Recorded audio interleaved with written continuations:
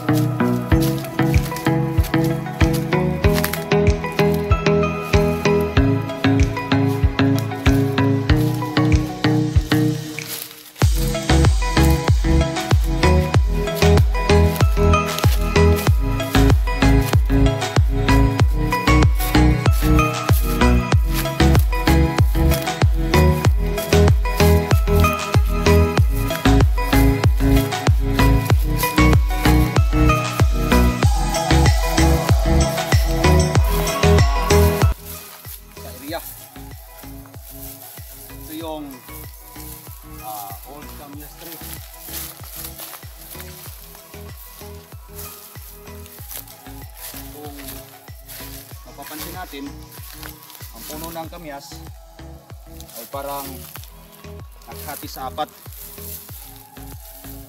Ito sa dalawa, tatlo, apat. Tapos sa gitna nito ay may hole. Ito. Malalim to. Tapos ah tatagos dito.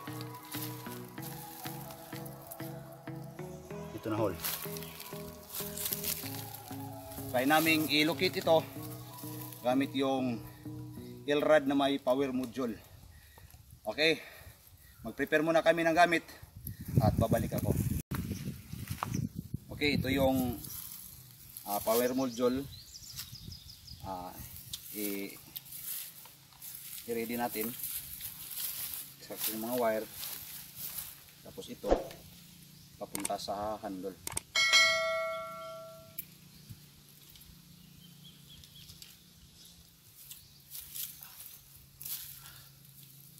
Ah, by the way, ito yung itong Ilrad with power module ay gawa ni Bro Kit Gloria.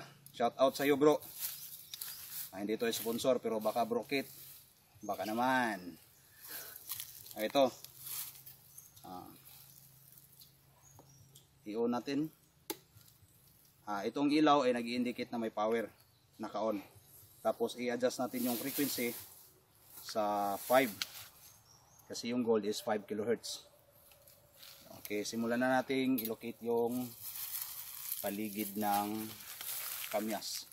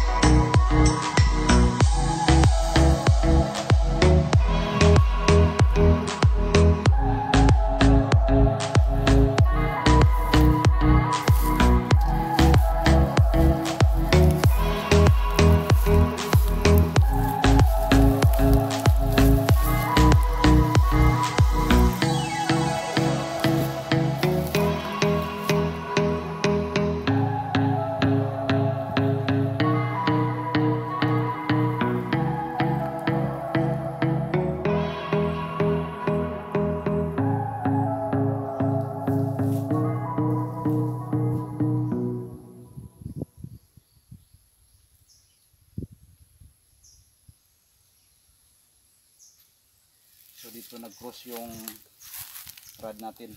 Ito, yung butas ito is tinitistig nila to ah, sa tapat ng hole. Ah, nasa mga sukatin natin kung ang distansya. Nasa mga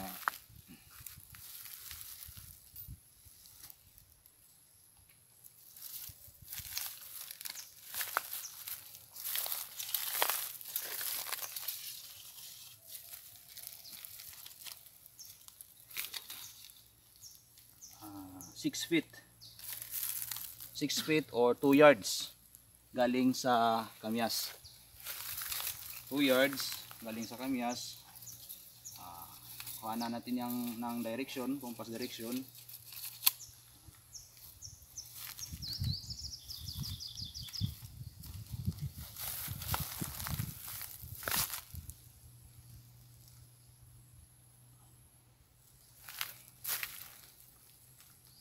Two hundred fifteen.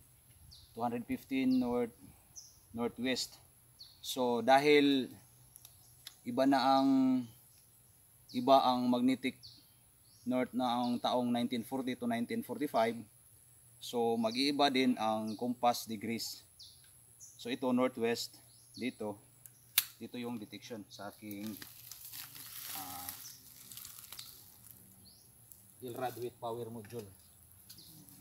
I-check natin ulit.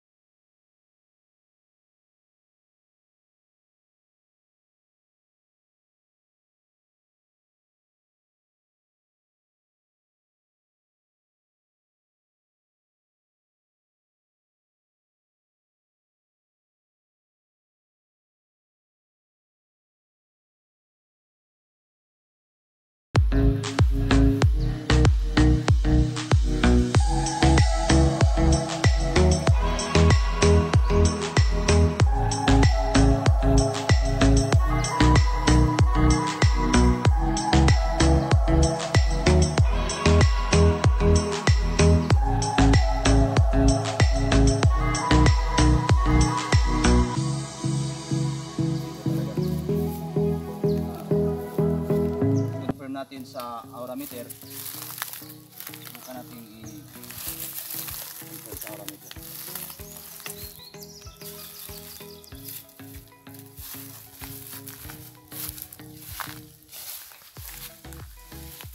Ito yun aura at saka 1 try muna natin sa aurameter. Ang maker din ito ay si Rocket Gloria. Try natin kung magkatugma ba yung detection nila.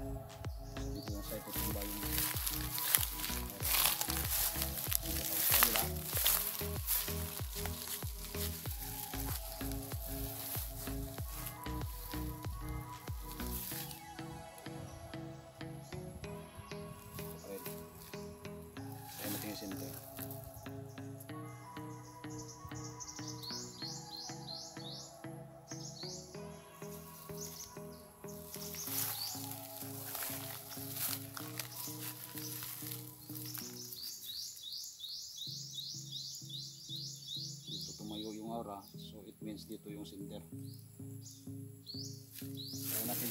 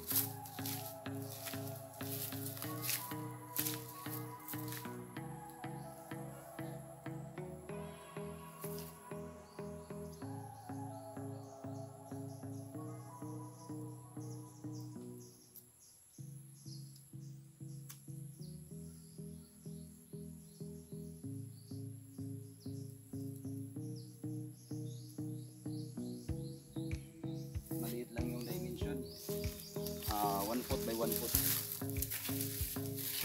Kung mapapansin natin yung kamyas, is matanda na talaga to. Kasi sabi ng ah, may-ari ng lupa, ngayon nasa edad na yan ay nasa 70, 72 is maliit pa lang sila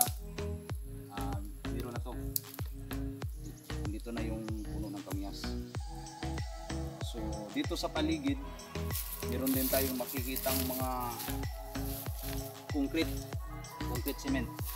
Ito gaya nito. Dito. Ah sinubukan kong idig ng mga kaibigan ko yung anak ng may-ari ng lupa. Ah, tapos ito yung nakita niya. Para daw itong ah, paa nakapatong sa isang siminto din. Ito ito siminto to. Ito tapos ito. Ang lalaking mga siminto siminto talaga kasi mayroon tayong makikitang ah, yung makikita dito yung halong corals dati